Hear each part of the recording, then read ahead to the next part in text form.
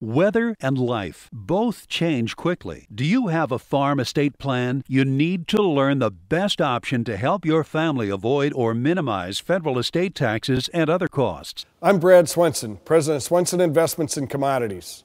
We work confidentially with farmers, ranchers, and advisors to help develop the best farm estate plan.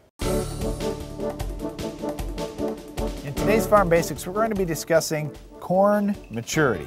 Now corn gets pushed along by heat and when it gets into the reproductive stages, there are really six stages of reproduction in corn. The first stage is silking, the next stage is blister, the next stage is milk, then dough, then dent, and finally physiological maturity. I get questions from time to time from non-farmers saying, why do the silks eventually turn brown? Well, here's what happens. The silks that come out the end of the ear they're each attached to an individual kernel on the ear. And when they get fertilized, when they get pollinated, and the pollination process is complete, then they will detach themselves from each one of those individual kernels, and then they're no longer a part of the plant, so that means that the silk eventually is going to die. When it dies, it turns brown. As those kernels are fertilized and eventually you start to see dry matter accumulation inside them.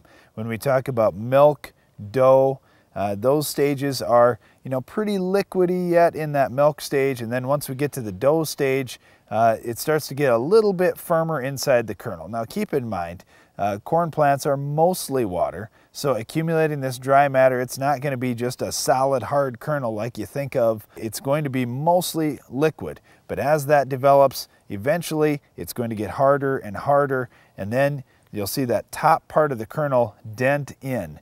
And that's what farmers are really looking for. They're anxious to get that corn to the denting stage. Then they know they're pretty safe from a lot of weather disasters that can happen late in the season. The way that farmers determine what type of corn they want to plant is how long their growing season is. And to determine how long the growing season really is, you look at the average number of GDUs you normally get. What that is is growing degree units. And the way you calculate these growing degrees is you take the high for the day plus the low for the day and then you divide by 2. And then you subtract 50, which is really your base. If 50 is going to be your lowest temperature that you'll register there to get what that growing degree day unit is. Now the thing is, with the high, it can only be as high as 86. Any number higher than 86, you only use 86 and the low can only be as low as 50. So any, any number lower than 50, it only counts as 50.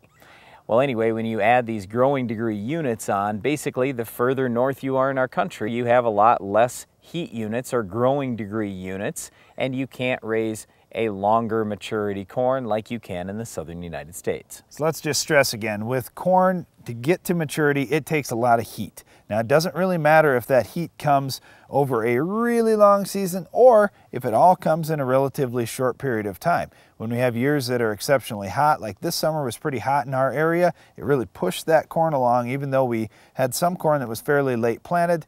Uh, it's still going to make it in time for harvest. It's going to get to physiological maturity before we have that hard killing frost, most likely, because we had lots of heat to push along. Well, heat also seems to push along our Weed of the Week. We'll tell you what it is and how to control it coming up later in the show.